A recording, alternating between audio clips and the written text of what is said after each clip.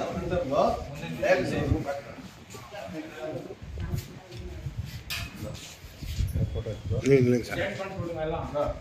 కొంచెం అది పిల్లాడి పిల్లాడి పంపడం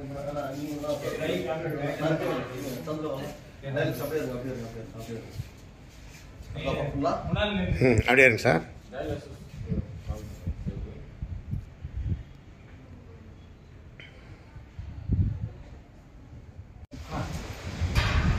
நான் ரயில்வே ஸ்டேஷன் சம்பத்குமார்.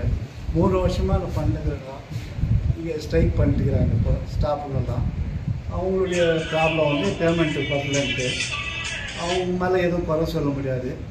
எங்கள் ஒரு நாளைக்கு இது இது பண்ணலைன்னா கூட மூச்சு திணறுது. எங்களுடைய உயிருக்கு உத்தரவாதம் இல்லை.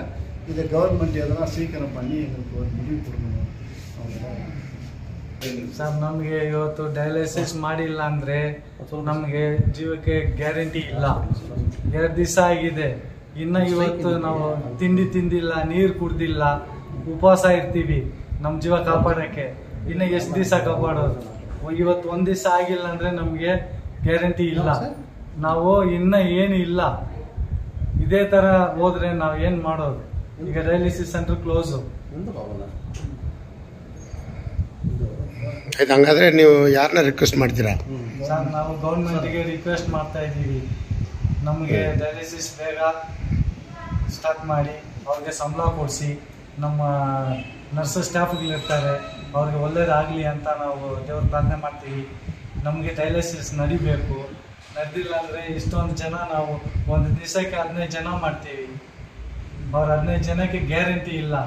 ಈಗ ಏನು ಮಾಡೋದು ಈಗ? ಇದೇ ತರ ಕರ್ನಾಟಕ ಫುಲ್ ಇದ್ದಾರೆ. ಅವ್ರಿಗೆಲ್ಲ ಏನು ಮಾಡೋದು? ನಾವೆಲ್ಲ ಬಡವರು ಸ್ವಾಮಿ. ನಾವೆಲ್ಲ ಸರ್, ಎಲ್ಲರಿಗೂ ನಮಸ್ಕಾರ.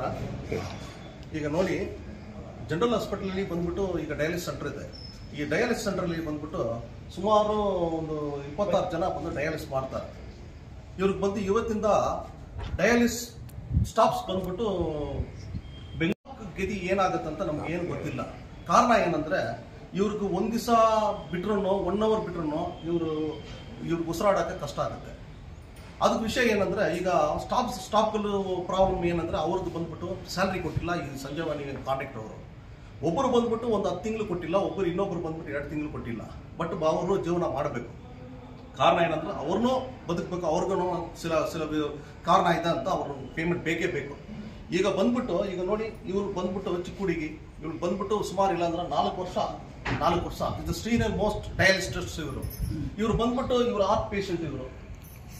ಇವರು, ಇವ್ರು ಆರ್ಟ್ ಆರ್ಟ್ ಪೇಷಂಟ್ ಇವರು. ಇವ್ರು ಆರ್ಟ್ ಪೇಷಂಟ್ ಬಂದ್ಬಿಟ್ಟು ಒಂದು ದಿವಸಕ್ಕೆ ಎರಡು ಎರಡು ಲೀಟರ್ ನೀರು ತೆಗಿದಿಲ್ಲ ಅಂದ್ರೆ ಅವ್ರು ಉಸಿರಾಡೋದು ಕಷ್ಟ. ಈಗ ನೆನ್ನೆಯಿಂದ ಇವರು ಯಾರು ಇಲ್ಲಿ ಇರೋರೆಲ್ಲ ಡಯಾಲಿಸಿಸ್ ಪೇಷಂಟು ಒಬ್ಬರನ್ನು ಊಟ ಮಾಡಿಲ್ಲ, ನೀರು ಕುಡ್ತಿಲ್ಲ ಯಾಕಂದ್ರೆ ಉಸಿದ ಮೇಲೆ ಅಷ್ಟು ಭಯ ಇದೆ.